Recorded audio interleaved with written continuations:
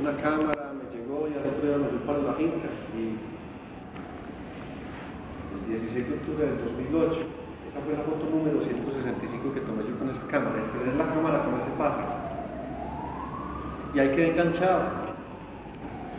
Ahí quedé enganchado en la fotografía de aves. Desde ese día no pasa Trato de no desperdiciar un solo momento para ir eh, hace poco me enteré que los fabricantes, las cámaras profesionales dicen que son hechas para tomar alrededor de 100.000 fotos, porque se conocen como la obsolescencia programada, no quiero decir eso. Así como una llanta unos 50.000 kilómetros, unos millón mil horas.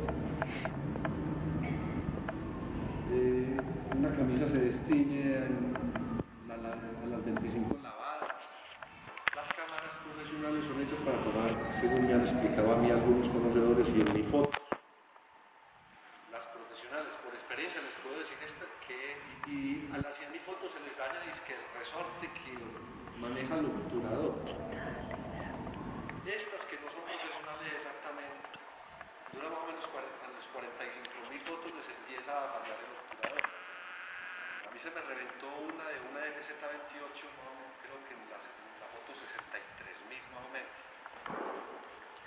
Estaba en una rafa y se reventó el resorte. Eh, daños no tienen arreglo. Eh, pero 30, 40, 50 mil fotos son un montón. Ahí, ahí tiene usted, posiblemente no alcance, como para mí, no alcance uno a verlos. Terminamos acumulando y acumulando y acumulando fotos. Por ejemplo, que ustedes me hayan invitado acá le han sentido esa curiosidad.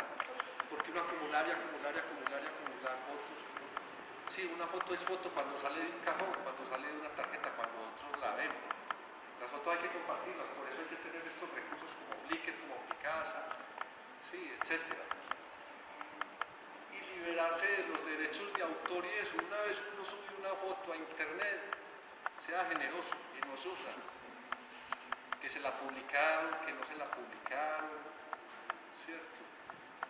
Eh, y si la van a usar, escríbanle al tipo, la gente por lo general es, la gente por lo general autoriza el uso. Y termina uno enterándose de unos detalles. Hace poco me escribieron de una universidad de Nueva Zelanda pidiéndome una foto de una masilia, una foto de un colirrujo puse la masilia sacarte. Están usando eh, una pluma de una masilia para activar una mezcla de unos productos homeopáticos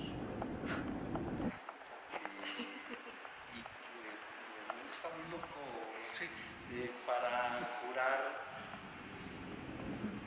algunos problemas psiquiátricos. Sí, eh, también usan algunos bus, también usan, se entera uno de cosas muy el que le interese eso, por ahí tengo esos documentos, me pueden escribir, yo con mucho gusto se los mando. Eh, es el centro de etnoornitología que hay en, que hay en Canberra, de pronto, o, o son particulares. Ah, de una universidad. No, de Nueva Zelanda. Sí, pero creo que trabajan en Nueva Zelanda y, Australia. Es un grupo de ornitología, pero no sé si estén haciendo ya esas cosas tan, tan sofisticadas. Sí, eh, colibrí. Me interesa esa. Sí, sí. O que los haga. Que el Valium. O que Sócrates.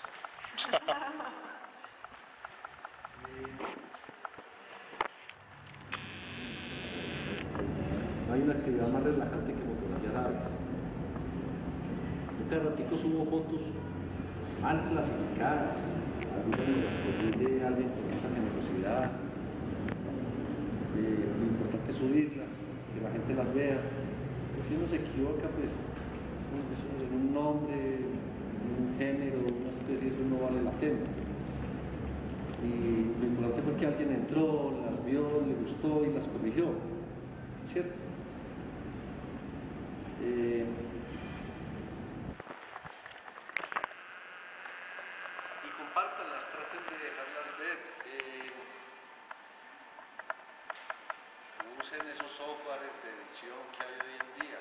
Yo he visto recientemente, estuve, estaba aprendiendo